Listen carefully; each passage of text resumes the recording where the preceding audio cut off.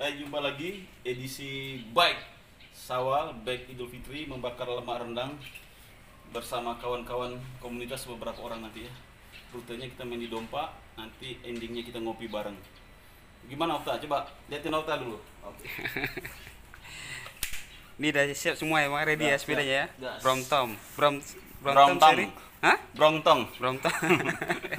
Brompton sama Pacific, Pacific eh, Silver analog. analog. Gas. Oke.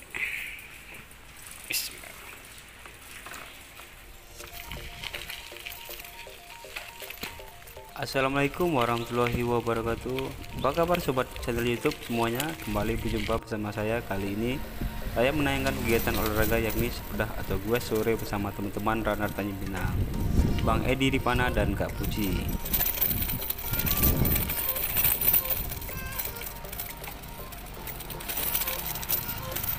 Gowe sore ini masih dalam suasana syawalan atau halal bihalal di mana pasca Idul Fitri umumnya tubuh kita mengalami kenaikan berat badan.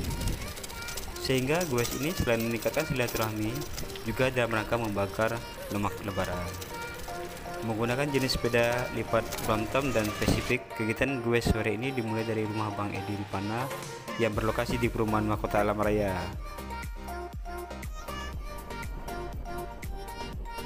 Kegiatan gue sore ini dimulai dari rumah Bang Edi Ripana yang berlokasi di perumahan Mahkota Alam Raya. Dari sini kami keluar ke Jalan Hanjaya Putro Batu 9 dan lanjut menyusuri Jalan Pembakaran Mayat Batu 8. Dari sini kemudian melewati Jalan Cendrawasih.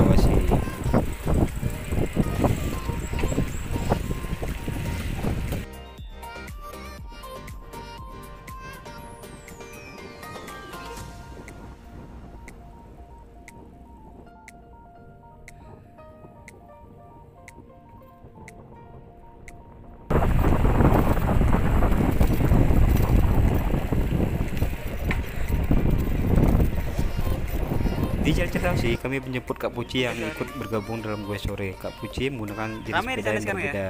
Sepeda gunung dan kostum hitam-hitam. Tetap ada musik ya.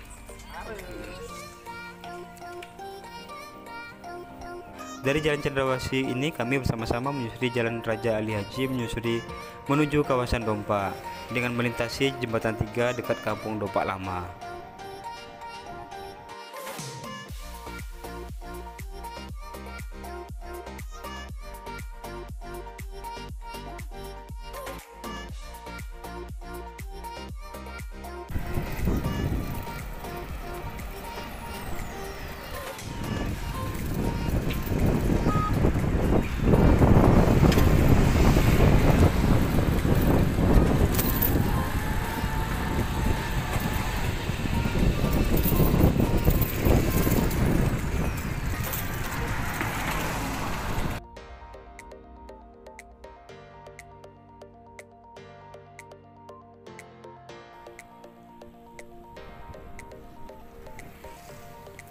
Di tengah jalan tiba-tiba rencana berubah dari awalnya Wes menuju Pulau Dompa namun akhirnya berbelok ke arah kawasan FTZ Dompa.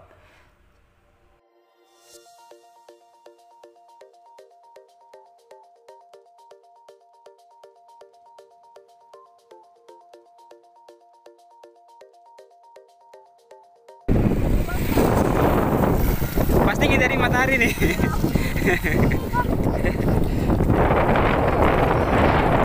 Sam- Sampai ya? Sekian lama tidak berjalan-jalan ke sini, ternyata banyak perubahan kegiatan pembangunan yang terjadi ya guys. Di antara jalan yang sudah diaspal, selain itu juga berdiri bangunan beberapa lantai seperti yang milik instansi TNI. Biasa mendaki pertama jalan menuju ke Tanjung Moco.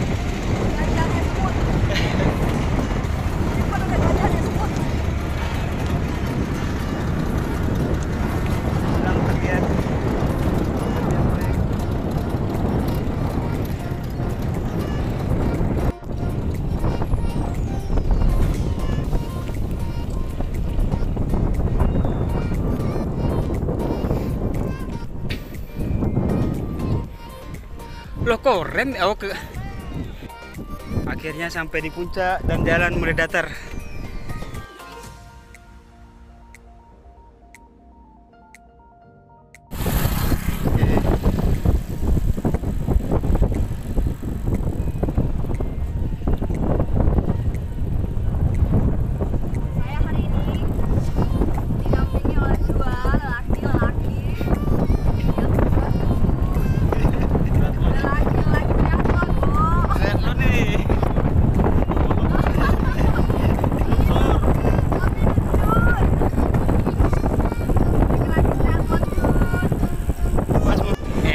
Iya dulu ya.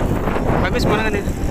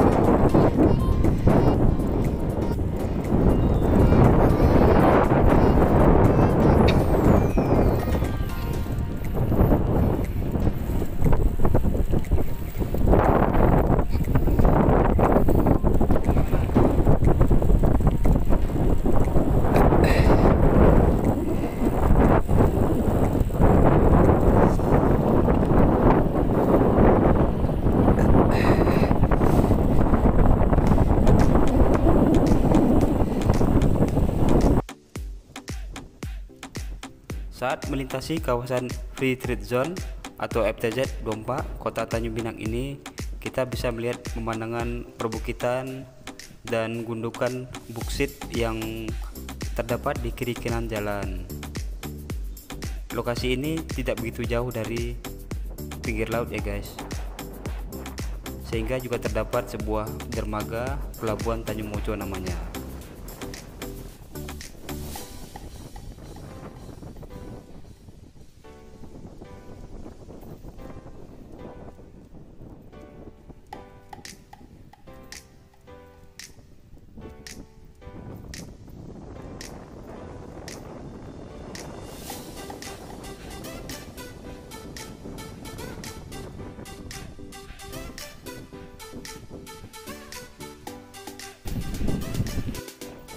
Tanjung Mojo tidak lengkap rasanya kalau tak ke dermaga ujung ya guys. Loka- lokasi ini sudah lama menjadi salah satu spot mancing favorit bagi kalangan penghobi mancing, baik siang ataupun malam hari. Selain itu juga cocok sebagai tempat rekreasi dengan ruang terbuka namun tidak menimbulkan kerumunan.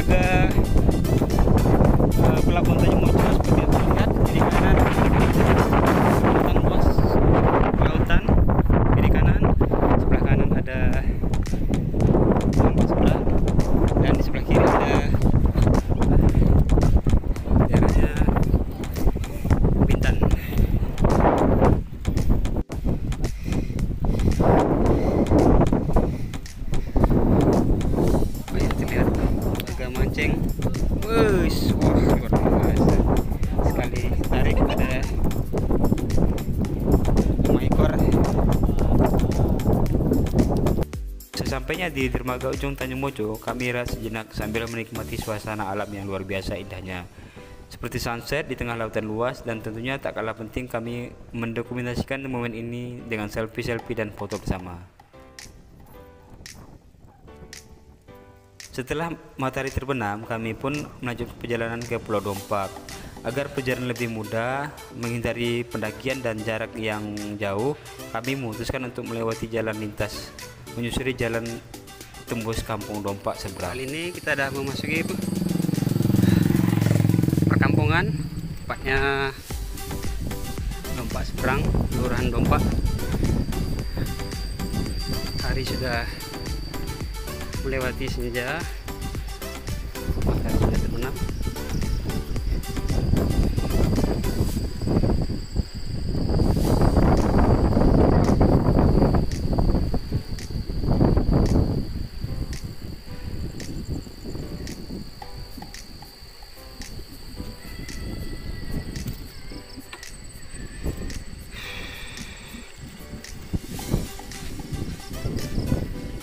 Memasuki kampung ini kondisinya sudah gelap, namun lampu sepeda dan penerangan jalan ditambah lagi kondisi bulan purnama cukup mempermudah perjalanan meskipun di malam hari ya guys. Roro?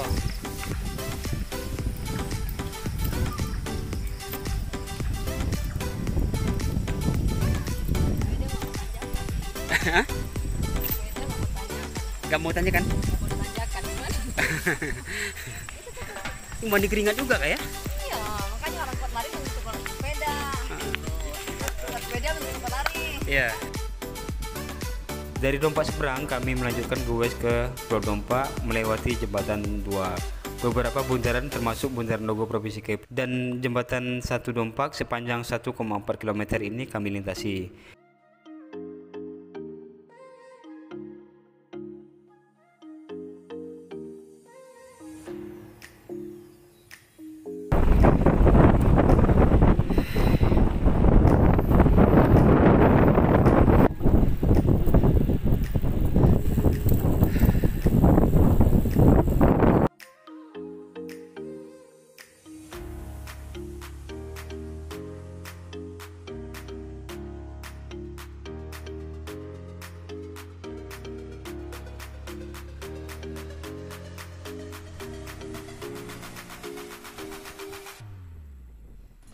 Sesampainya kembali ke Pulau Bintan atau Kota Tanjung Pinang, kami langsung menuju ke kafe Cerita Kopi yang berlokasi di kawasan pertokoan The Great Batu Lapan Atas. Luar biasa. Cerita kopi. Cerita kopi. Tempat yang oke banget. Oke banget. Habis goes. habis goes. Untuk kar karbo loading ya, karbo loading ya,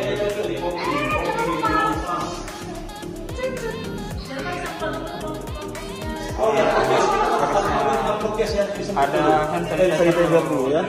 Tetap. Jadi masker kami di kami kita pakai. Apa ya kira-kira Maskernya, maskernya? Maskernya? Kita pakai masker? Oh. Oh, udah. Oh, kita pakai cerita kopi aren. Ini ya, kita akan tes cerita kopi aren setelah bersepeda. Saat ini sudah 31 kilo.